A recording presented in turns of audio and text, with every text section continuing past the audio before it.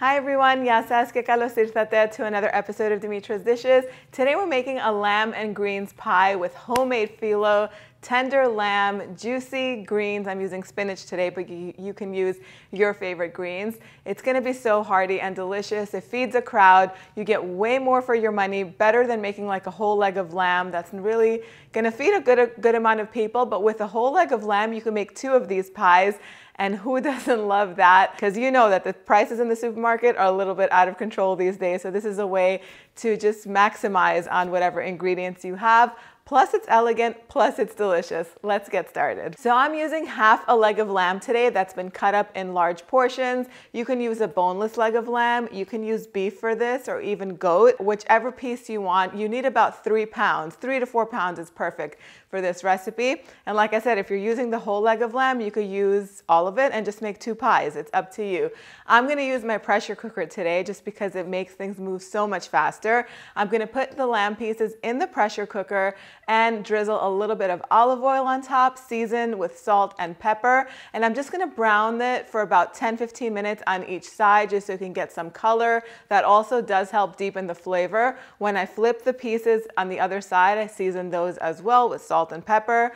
Then I go ahead and I add some garlic. So about five, six garlic cloves that have been grated. Just put them in there, try to get them towards the bottom. I forgot to say that the machine is set to the saute setting and I like to set it for 20, 25 minutes so that way it stays nice and hot. You could always add more minutes as you're going. And then I just add a cup of water to this. I put the lid on and I put the vent to the sealed setting and I pressure cook for 40 minutes. If you're using smaller cuts of lamb, you, you might want to start at 25 minutes and then check it and you can continue to cook it more if they're not done. You want the meat to be falling off of the bone. If you don't have a pressure cooker, this is an Instant Pot. Um, you can do this on the stove top, nice and low and slow. You would brown the meat over the over medium high heat, just like we did on the stove top. Then add more water. You need more than a cup of water. I would put enough water for it to go about three quarters of the way up you know, from the meat. You want it to be immersed so it stays nice and soft. And it's gonna take about an hour and a half over medium heat nice and low and slow on the stove top for the meat to be nice and tender. It might take two hours, it might take one hour, it depends on the meat.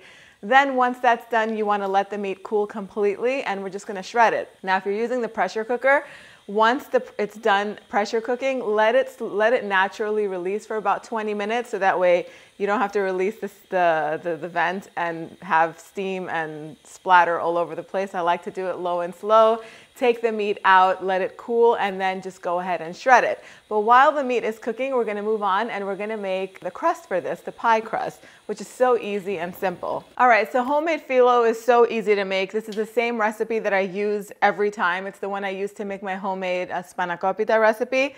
If you don't wanna make homemade phyllo, that's perfectly fine. You could use store-bought phyllo instead. The best one to use for this is a country phyllo because you want it to be nice and hearty. That would be a number 10. I have one on the side because I'm making a, another recipe um, right after this video. Anyway, we start with the wet ingredients, which is a cup of water. You want it to be lukewarm water, and that's 250 milliliters. We need a teaspoon of vinegar. This helps it stay nice and tender. I have red wine vinegar. You can use white vinegar. A heaping teaspoon of salt and about two tablespoons of high quality olive oil. Of course, we have really high quality olive oil in our shop on the website if you want to head on over there later on and get some about two tablespoons of that. I'm just gonna give it a nice mix. And then I have three and a half cups of all-purpose flour. This is 500 grams. Just add all of that in there. And you could do this by hand. You don't need a mixer to do it, but since I have one, I like to use it. Less work. And we're gonna need this for about four or five minutes or, uh, or, until it all comes together. If it's looking a little bit dry, what you're gonna wanna do is add a couple tablespoons more water, lukewarm water. If it's looking a little bit too wet, a couple of tablespoons of all-purpose flour until the mixture comes together and it's nice and soft and tacky.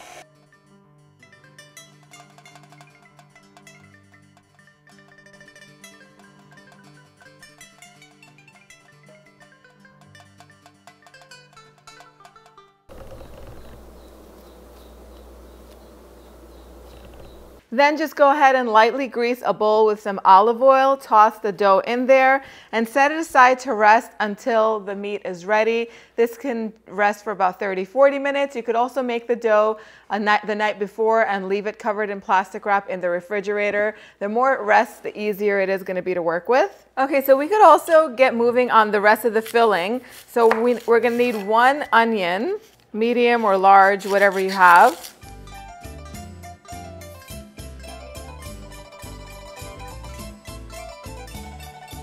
Go ahead and finely chop it and put it in a pan.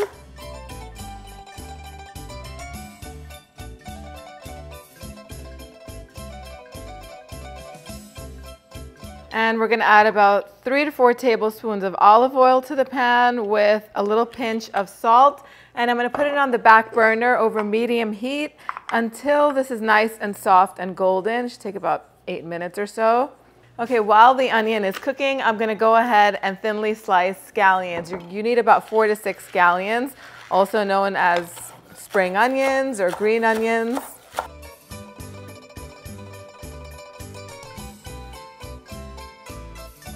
And you wanna get all the way down to the roots. Use the whole onion.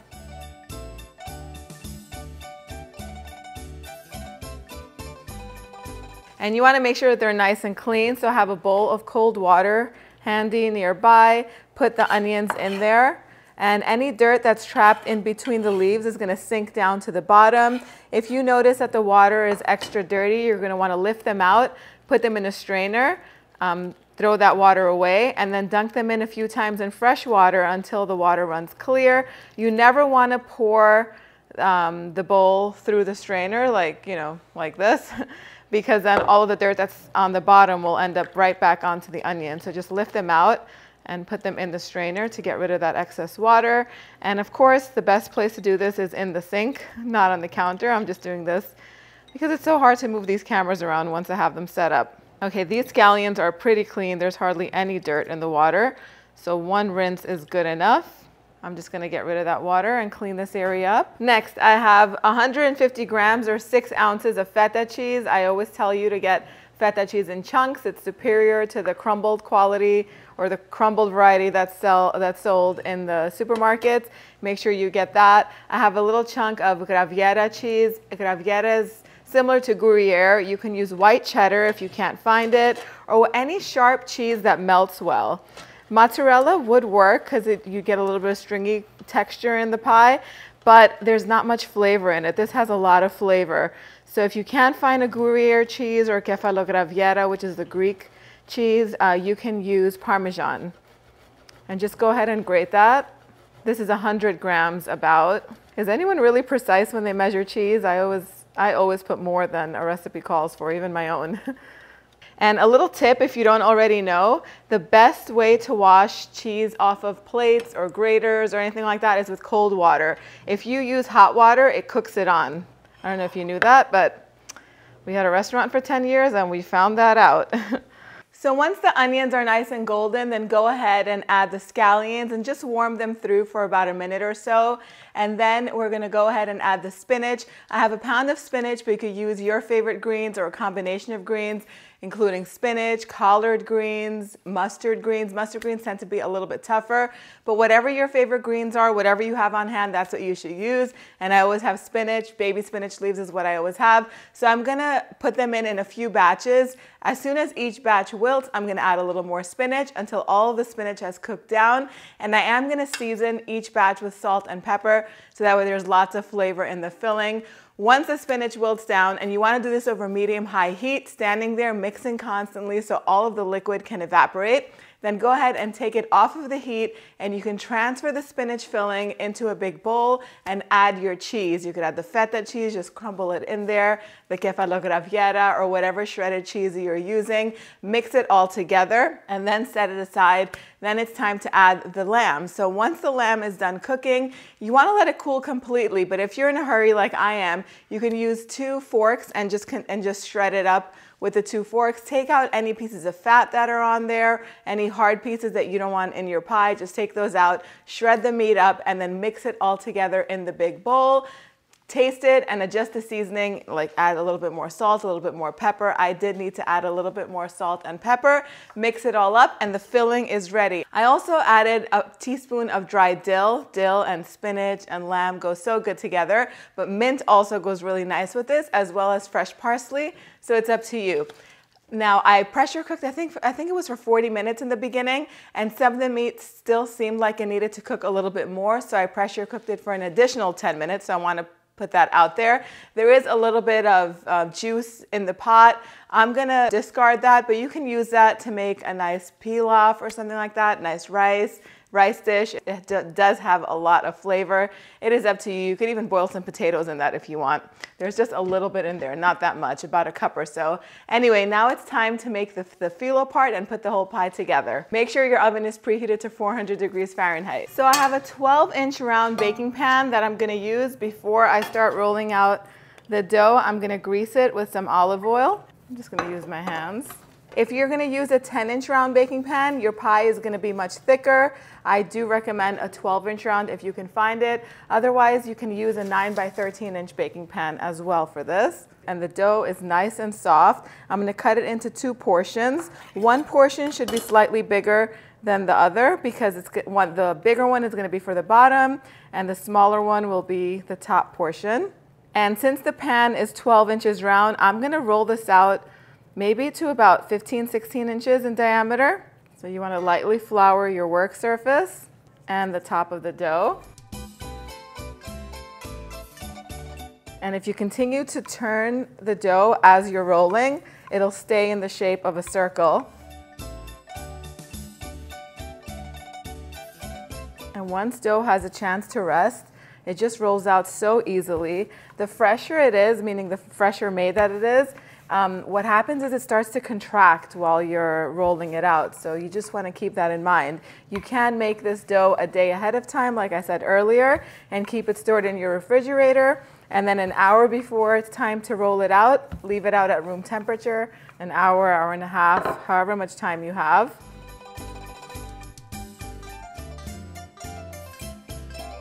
Now, traditionally in Greece, they don't roll out with regular rolling pins like this. They have big, long um, wooden rods that they roll out with. I don't have one, and I'm showing you that you can still get the job done. So if you want to take a little bit of dough and just like roll it this way, it rolls out bigger and faster this way. And if it's starting to get stuck, you could just add a little flour. The less flour you add, the more tender your pastry will be.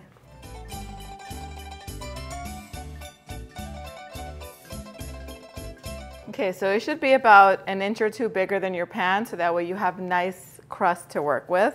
You could fold it in half and then put it in your pan, or you could fold it over the rolling pin and then roll it into your pan, whatever you're comfortable with. Keep in mind that the more you work with pastry dough, the easier it's going to be. It gets so much easier to handle it. It might be tricky the first few times, but don't worry, you really can't mess this up. It doesn't even have to be a perfect circle, you guys, it's fine. If you want to throw some breadcrumbs on the bottom, you can. Uh, rice is something that's tra traditionally used, as well as little tiny pasta like trachana if you have, or couscous, you could do a little layer. I'm just not a fan of pasta in savory pies. It's up to you. It is traditional. It's something that's usually put into pies like this. You would use about two to three tablespoons or so of couscous. Couscous would work, or trachana. The sour trachana is better because it has a lot of flavor. But go ahead and put the filling in one flat, even layer. Smells so good already. And now we're gonna roll the top portion.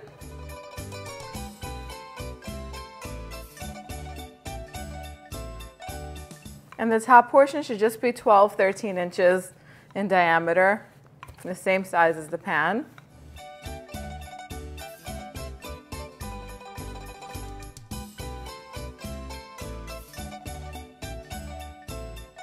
I'm just gonna put that over top. Then I'm gonna drizzle with lots of olive oil.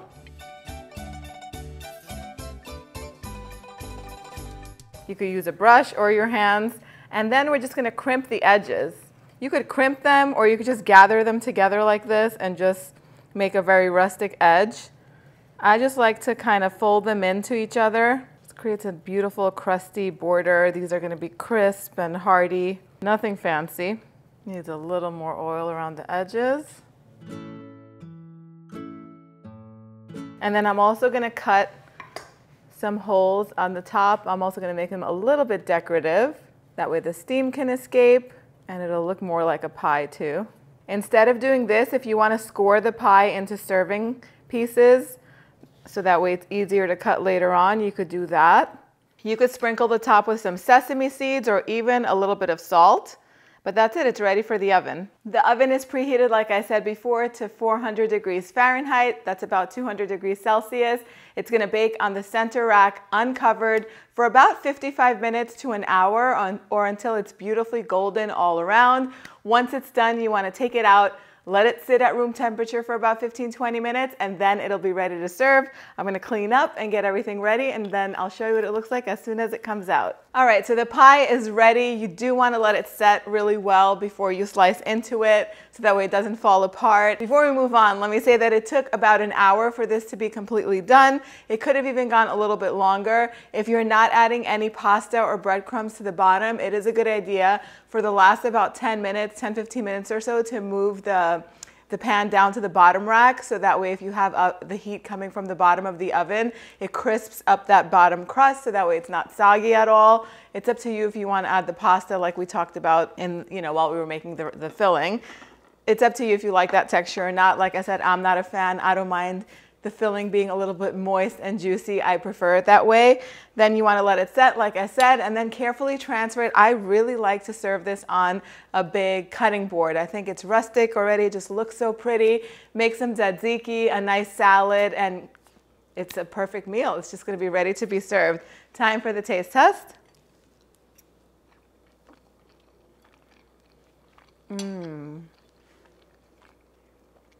so much flavor. That spinach makes the filling so juicy. The onions and the scallions add lots of great flavor. The crust is so hearty and delicious, nice and thick, just exactly the way I like it. Even though the bottom and top layers are a little bit on the thinner side with that crust, I like to cut it off and dip it in tzatziki. That's how I like to eat it. I think you guys are gonna love it. The exact measurements are on the website, dimitrasdishes.com. If you wanna learn how to make my spanakopita, click over here and I will see you right over there. Yes, us.